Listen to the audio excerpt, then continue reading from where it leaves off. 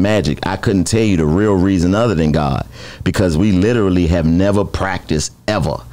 How did the Netflix special come about, though? Did they approach y'all? Or? Uh, yeah, it, it was like a two year process. Okay. You know what I mean? It was a two year process, and we, you know, had to make sure everything was right before we jumped out there. Because the thing about it is, in our mind, we make Netflix specials every time we put a live show on YouTube. Real talk.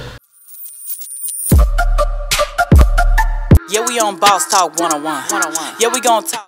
Let me ask you this, man. Like you guys, man, that Netflix special, bro, number one. It stayed number one for a while. Congratulations. Thank, Thank hey, you. man, you Thank guys you. did a dope job. I had seen you and Carlos. I never really uh, seen DC Young Fly, you know, as far as in stand up. So that that was dope to see that him in that element. But the thing I looked at, man, was the way you guys chemistry is, man.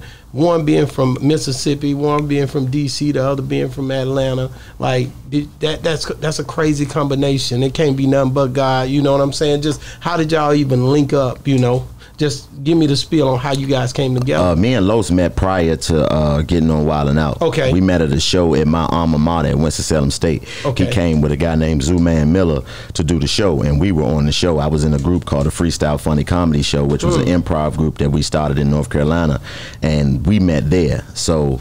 You know, we already had a relationship. Me and Fly met on Wild 'N Out. You know what I'm saying? He had knew Los, which was with.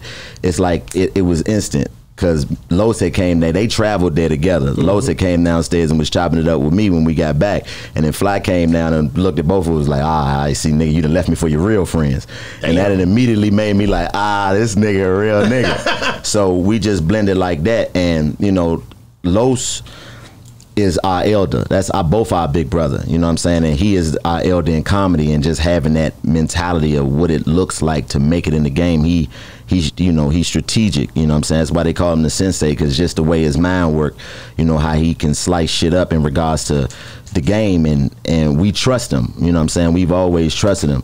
So when he was like, "Man, we got to do some shit for us." And I'm like, nigga, whatever we, whatever it is, let's That's do hard. it. You know what I'm saying? But this the shit that we do when we around each other anyway. So, So y'all we was just talking and saying, we yeah, gonna we do just we we do this, we do this anyway. Yeah, you know, this is this is how we chop it up, whether the cameras is on or not. So you just seeing us be us in front of the camera. That's all it is. That's why it works like that. That's it's magic. I couldn't tell you the real reason other than God, because we literally have never practiced ever.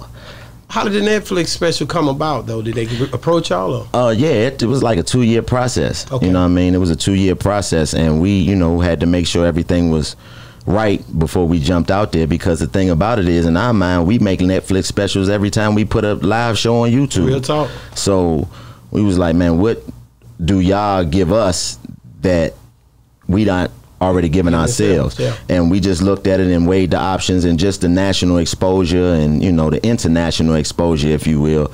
That's what really made us say, okay, you know, let's do it. And it came out dope Came out because dope. it was it, it's it's not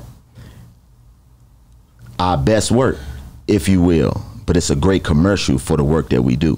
Who came up with the 85 South, the, the whole, the, the name and just the That's? Los. You know what I mean? That's all Los. The the format was we worked that out together, but the idea of you know just initially spearheading everything that's that's Carlos Miller all the way. Big man. I mean, it's the dope show. When you see it, it it it's, it screams black culture, Mm-hmm. and I think that's so important for us to be able to see something like that on the internet. Um, that's very. It, it develops our people, bro.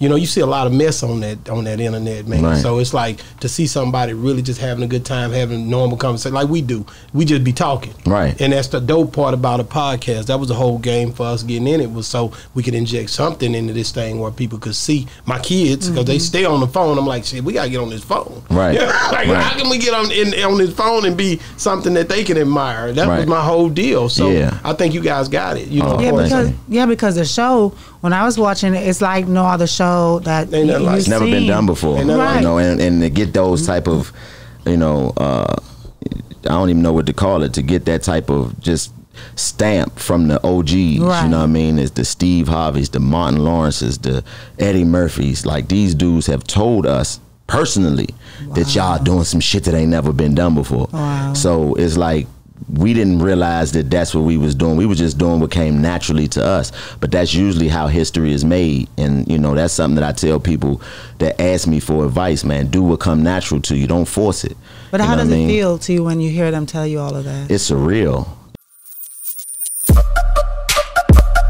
Yeah, we on Boss Talk 101. 101. Yeah, we gonna talk.